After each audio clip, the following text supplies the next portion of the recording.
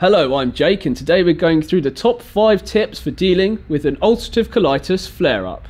If you don't know what ulcerative colitis is, I suggest you check out our other video where I explain what it is and what's going on with you. To start things off, I'm going to put at the top, don't panic. The first thing you're going to see when you realise you're flaring is let alone the pain, but you're going to see blood in the toilet, and that's always a scary thing. Don't let the amount of blood in the toilet freak you out. You're not going to die from blood loss. Even though it might look like a gory, gruesome scene in the bowl, it's really nothing to be afraid of. It just means you need to get some help. Come in at second, talk to your specialist. Your specialist is going to really help you out and get you through your tough times. I had an open dialogue with my specialist, so whenever I had any problems, I'd send an email and she'd be able to give me any uh, drugs or anything that I needed to help me get through what I was dealing with. Uh, if you don't have a specialist, then I advise you go visit your doctor now and get referred to a specialist because this really helps. The main thing with seeing a specialist is it allows you to get treatment as fast as possible. You don't want to let your flare up go on for as long as it could go on for. It might not even get better without treatment.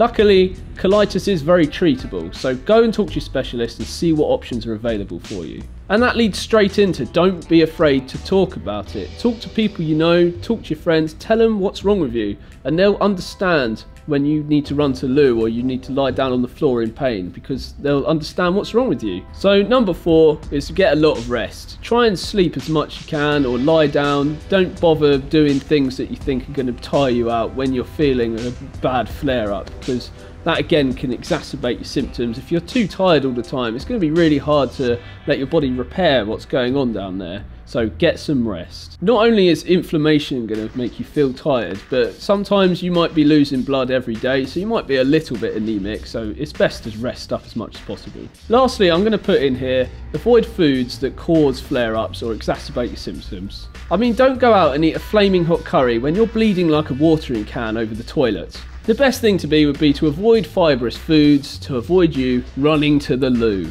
You want to minimise the amount of times you're running to the loo to give yourself as much rest as possible. Oh, and remember, stay hydrated. So those are my five tips for dealing with a UC flare-up.